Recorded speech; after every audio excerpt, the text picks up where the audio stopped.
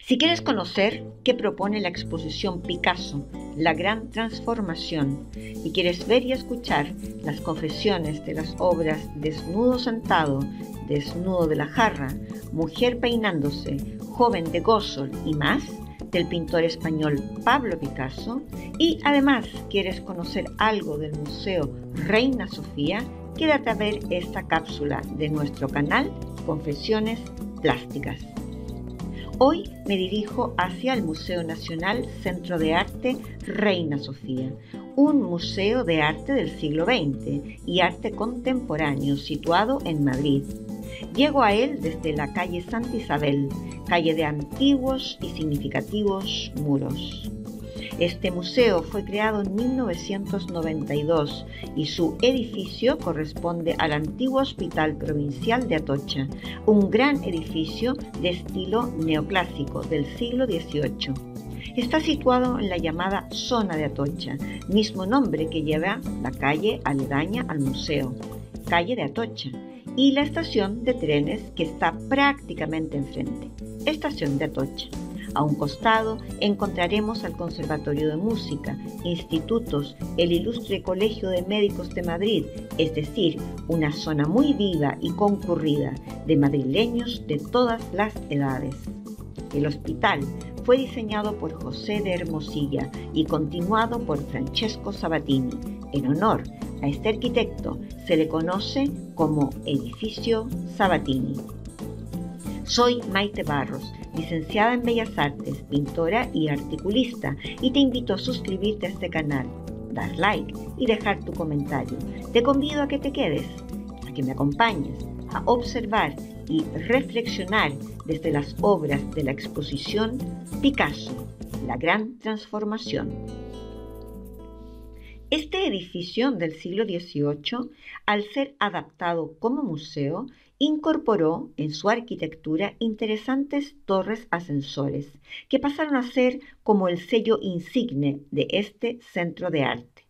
Un diálogo audaz entre la fachada del antiguo hospital y estas torres transparentes e iluminadas que hacen las veces de miradores de la ciudad.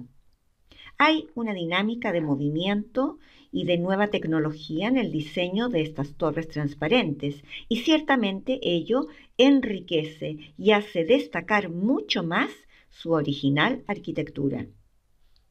Resulta muy atractivo y ciertamente una propuesta estética contundente ver circular gente edificio arriba, edificio abajo durante todo el día. Ello es una propuesta estética en sí misma, auténticamente una idea de escultura móvil, en donde los visitantes no somos conscientes que somos parte de ella. En el interior del Museo Reina Sofía circula siempre el fantasma del hospital que fue. Sus pasillos, sus ventanas, su capacidad de ser siempre hacia adentro, como visitantes, nunca tomamos contacto hacia afuera, más que para irnos. En este sentido, es la antítesis del Museo de Arte Abstracto de Cuenca. Aquí no aplica la máxima como es fuera es dentro y como es dentro es fuera. Tendríamos que inventar un nuevo dicho. Como es dentro es más adentro. Como es dentro es en las entrañas. El pequeño jardín del interior es de gran austeridad y belleza, más aún ahora con sus árboles otoñales, teñidos de variadas gamas anaranjadas y contiene tres esculturas de emblemáticos artistas del siglo XX. La obra Togi Eguín, homenaje a San Juan de la Cruz, del escultor español Eduardo Chillida dos cruces latinas que se abrazan, escultura que hace referencia al abrazo místico al que alude el cántico espiritual. También vemos Pájaro Lunar, escultura de bronce del artista español Joan Miró, y Carmen, una monumental escultura móvil del escultor estadounidense Alexander Calder. Ese patio de esencia quieta con sus añosos árboles, se vuelve ciertamente un patio más vivo y comunicativo con las tres magníficas esculturas, y éstas nos recuerdan el quehacer artístico y espiritual del ser humano. Es un edificio con vocación de laberinto, es como un animal que engulle y los visitantes quedamos siempre atrapados en sus entrañas. Sus pasillos monótonos de infinitos y hermosos arcos nos encierran, nos llevan a una espiral eterna hacia nuestro interior. Casi no hace falta saber que aquel edificio fue un gran hospital. Aquello se percibe. Pasillos, pasillos y pasillos, ventanas, ventanas y ventanas. Siempre vamos circulando por un letargo de formas, sin ritmo. Es como el pausado respirar de un paciente, como la letanía de una enfermedad sin fin. Siempre mirando al patio, nunca hacia la calle, el afuera dinámico y vibrante de la ciudad no es percibido, no toma contacto con el interior del museo. Siempre caminamos hacia adentro. Esta sensación es intensa, más interesante, pues este animal que nos ha engullido nos muestra sus entrañas y en ellas encontramos obras de arte moderno, es decir, ideas contemporáneas, materializadas en pinturas, grabados, esculturas. Allí nos perdemos, allí damos vueltas, entramos y salimos de salas con propuestas que a ratos nos extrañan y a ratos nos identificamos con ellas. La colección permanente del museo contiene la obra más emblemática de Pablo Picasso, Salvador Dalí y Joan Miró. Y como no, hace años que aquí se encuentra la más conocida obra de Pablo Picasso, Guernica. Con el motivo de la conmemoración del 50 aniversario de la muerte del pintor español Pablo Picasso, el Museo Reina Sofía ha organizado esta exposición con la colaboración del Museo Picasso de París. Quizás resulte curioso que en el año 2023 nos preguntemos qué tuvo de especial Picasso, por qué fue un artista innovador, pues, ¿qué hizo de importante? En mi opinión es una pregunta no solo necesaria, sino honesta y apropiada. Pablo Ruiz Picasso, nacido en Málaga, España, el 25 de octubre de 1881 y fallecido en Mugans, Francia, el 8 de abril de 1973. Se dice que fue un niño prodigio y que su primer cuadro lo hizo a los nueve años y que a los trece ya había sido aceptado en la Escuela de Bellas Artes de Barcelona. Su padre, José Ruiz y Blasco, fue profesor de arte y pintor e instruyó a su hijo en la pintura desde los siete años artista mundialmente conocido por ser el creador junto a George Braque y Juan Gris del movimiento cubista. Son muchísimas las obras mundialmente conocidas de este pintor. Guernica, Las señoritas de Aviñón, eh, Las Meninas, Sueño y Mentira de Franco, etcétera, etcétera. Pintor, escultor, ceramista, diseñador de vestuario teatral, es decir, una mente que creaba siempre y en todo material, autor de un total aproximado de 45.000 obras, 13.500 pinturas, impresiones y grabados, 34.000 ilustraciones para libros, 300 esculturas o cerámicas. Desde esa capacidad de ser multidisciplinario, su influencia se propagó en variadas direcciones, y su presencia en museos y colecciones es inmensa en el mundo entero. Hombre de relaciones humanas polémicas, de talante discutible respecto de sus parejas mujeres, hijos, familiares y más. Hoy en día, con los conocimientos que se poseen, Picasso es digno de estudio respecto de su carácter, personalidad y relación con los otros. Son muchos los términos desde la psicología y desde la psiquiatría que se le destinan con propiedad, con conocimiento y toda razón, mas aquí nos convoca como artista creador plástico. ¿Qué tuvo Picasso que todo lo que hizo lo convirtió en dinero? ¿Qué tuvo Picasso para convertir cada pieza, cada obra en una novedad admirada por todos? Picasso es de los autores más falsificados del mundo. Ello hace que un Picasso auténtico tenga un precio elevadísimo. Por otro lado, es importante saber que no existe un catálogo razonado de su amplísima obra. Por tanto, no tenemos claro de la misa la mitad. Cada institución, museo o heredero se han enfrentado duramente respecto de la propiedad y autenticidad de algunas obras. Es que tener un Picasso es un bien incalculable, justamente por estas razones que he dado. Su pintura se caracteriza por esa propuesta de formas humanas distorsionadas, algo monstruosas, andróginas y, en mi opinión, carentes de sensualidad y bondad de la piel, más bien deconstruidas y de colores monocromos. Como se dice siempre en los libros de arte moderno, Matisse es el color y Picasso la forma.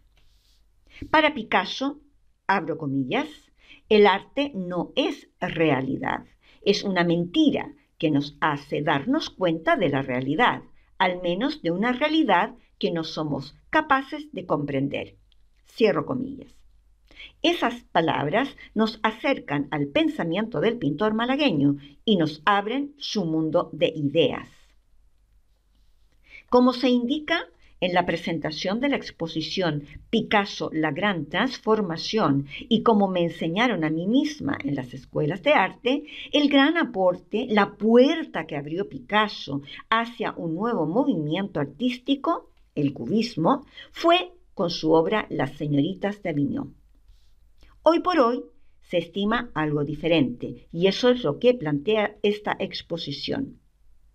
Es decir, esta obra no es un comienzo para el pintor español, sino el final de un proceso desarrollado durante el año 1906 y comienzos de 1907. Es decir, las señoritas de Aviñón no son un principio de un camino, sino el resultado de haber transitado por una larga senda. Un periodo de actividad artística entre París y Gossol, una localidad de Lérida. El trabajo realizado allí, como indica Eugenio Carmona, se trata de la primera aportación de Picasso a la noción plena de arte moderno.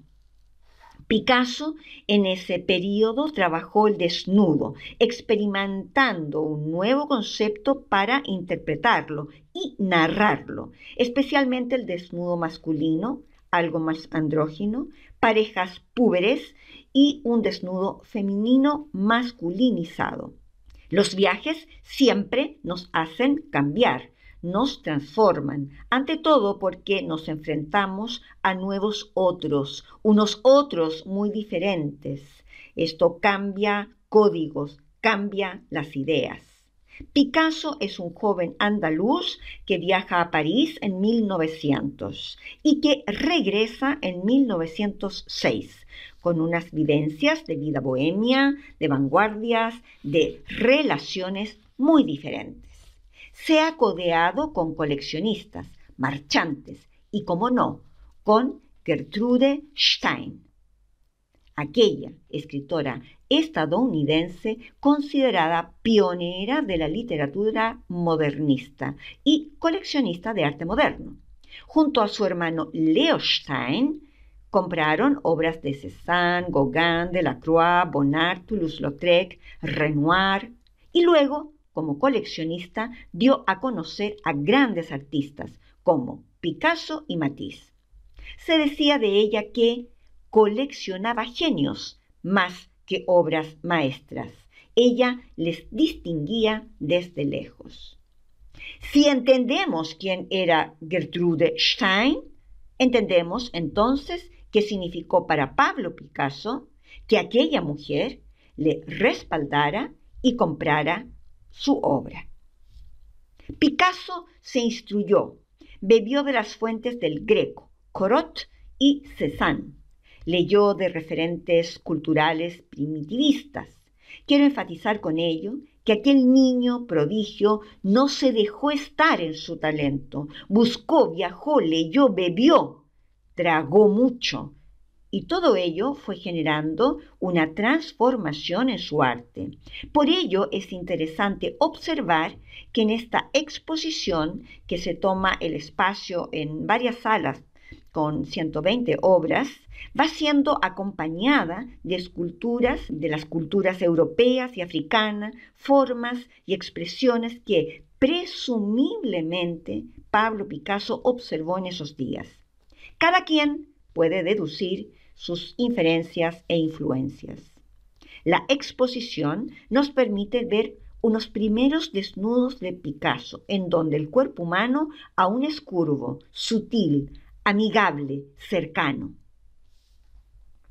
Desnudo sentado, de Pablo Picasso, año 1905.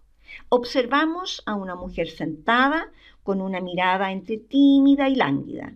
La obra contiene mucha sensibilidad en su trazo y en su mancha.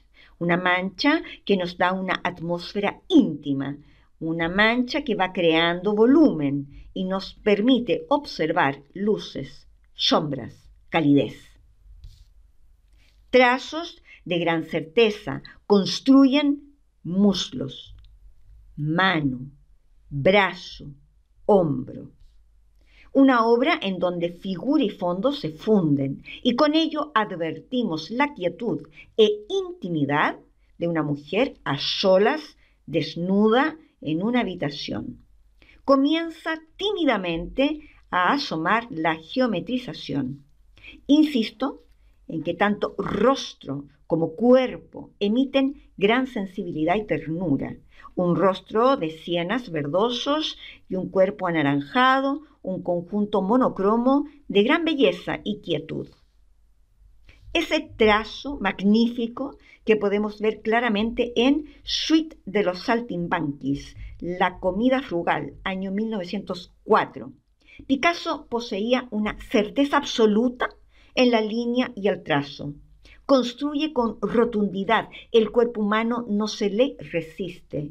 Cada línea, cada trazo en esta época permean sensibilidad y cercanía humana.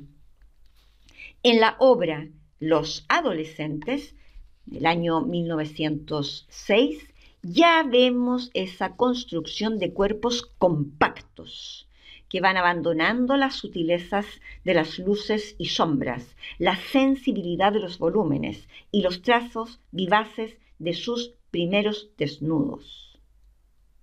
Desnudo de la jarra, de Pablo Picasso.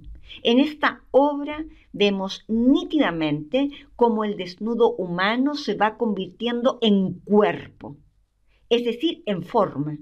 Ciertamente, una forma aún redondeada, pero compacta. El cuerpo va apareciendo como una masa, donde hay menos luces y sombras. Todo se vuelve más sólido, apretado. El color sigue dialogando en figura y fondo, mas la mancha predomina en los últimos planos y observamos un trazo mucho menos enérgico para definir el macizo cuerpo. Mujer peinándose, Pablo Picasso. Esta obra es quizás la más nítida respecto del relato de la exposición, pues en ella vemos claramente la transición de un lenguaje a otro. Vemos una línea de horizonte nítida y un equilibrio simétrico, central, con forma rectangular, vertical. En la parte superior del cuerpo vemos una construcción desde las líneas, trazos y manchas. Vemos volúmenes, vemos luz y sombra. Vemos un cuerpo aún asible y tocable, una sensibilidad carnal, una mirada tímida, contraída y detenida en el acto de peinar una larga cabellera una zona de cielo sensible, con cierto orden. La parte inferior con un lenguaje muy diferente, formas que se rigidizan, una saturación de diagonales, mayor caos y desorden. Ya no hay casi volumen, ya no hay tonalidad, luz y sombra. Todo se vuelve plano. Ya asoma el cubismo. Decir y clarificar que el cubismo tiene su nexo más notorio, es decir, bebió de la obra de Paul Cézanne. Ello más la mirada hacia el arte primitivo, africano, etrusco, egipcio, dan el resultado al arte cubista, que no es para nada arte abstracto. En el arte cubista aún se reconoce el objeto o la realidad observada, una realidad expresada a través de la geometrización de las formas, muy distante, muy distante esto del arte abstracto, en donde el objeto o realidad observada ya no se advierten ni distinguen. Otro cambio notorio en este periodo de reflexión, estudio y transformación de Picasso es lo que sucedió y derivó en su lenguaje respecto a las miradas. Claramente, esa revisión, ese giro a estudiar el arte primitivo, el egipcio, el etrusco, llevan a Pablo Picasso a una nueva expresión de los ojos. Es muy nítido observar de qué fuentes bebe el pintor malagueño. Busto de mujer joven, Pablo Picasso, 1906. Hemos observado y visto la sutileza y delicadeza de la línea picasiana. Esa línea se va volviendo inexistente en su nuevo lenguaje. La línea ahora asoma ruda, corta, gruesa, precisa. El desnudo humano se va volviendo cuerpo, masa, volumen compacto. Joven de Gossol, Pablo Picasso, 1906. Un sensible retrato, sensible en sus líneas, en sus trazos, en su mancha, en ese diálogo de color del rostro, donde aún vemos luz y sombra, donde vemos volúmenes y contrapuesto un pañuelo ya mucho más quebrado en sus líneas, más rígido y por tanto más cubista, una camisa blanca con unos breves trazos que aportan sombra, por tanto volumen, unas pocas líneas que retienen la forma. Una camisa construida en un lenguaje casi cercano a Egon Schiele, en su limpieza y en esa sensibilidad de la línea. La joven de Gossel es una obra muy nítida respecto de ese momento de Picasso cuando bebiendo de fuentes del pasado busca y esboza un nuevo lenguaje en el arte del siglo XX. El desnudo como tradición de las bellas artes estuvo presente en la obra de Picasso y tan presente que dejó más de 580 obras con este tema. Mas su búsqueda, su inconformidad con su ya reconocido talento, le hace beber de fuentes del pasado y su cambio es nítido y apreciable. El desnudo humano pasa a ser masa corpórea. Para gustos, colores. Habrá quienes digan que prefería sus primeros trabajos sobre el cuerpo humano, otros opinarán lo contrario, y hay quienes dirán que lo interesante es su evolución hacia un lenguaje propio. Me resulta interesante y como tema reflexionar como un artista que es considerado niño prodigio y es aplaudido tempranamente por su talento, tuvo la capacidad de salir de aquella zona cómoda y buscar su propio lenguaje. Sabido es que un pintor pinta y un genio crea su propio lenguaje. Picasso fue capaz de bucear y beber de otras fuentes del pasado y desde allí crear un lenguaje mucho más discutido, enfrentado, rupturista e incómodo. Sin duda que con ese arte creó un lenguaje propio, el lenguaje picasiano, sin el cual su obra Guernica, no sería Guernica. Y también es interesante observar en una sociedad donde hoy por hoy muchos seres humanos se acomodan en el presentismo como única visión válida de reflexión histórica, pues que existan artistas capaces de nutrirse de otros tiempos y validar a aquellos tiempos. Esta es para mí la conclusión más importante de esta exposición, al igual que los arquitectos que tomaron al antiguo hospital provincial de Atocha y lo respetaron, sin echarlo abajo, sin modificarlo o hacerle cosmética. Es más, lo unieron a esos ascensores, esculturas, otorgando así una arquitectura de propuesta única y estéticas simbióticas. Podríamos concluir que el resultado estético del Museo Reina Sofía es el diálogo de dos momentos históricos, es el diálogo de dos épocas, es el diálogo de dos funciones tan diversas como cobijar pacientes o cobijar arte.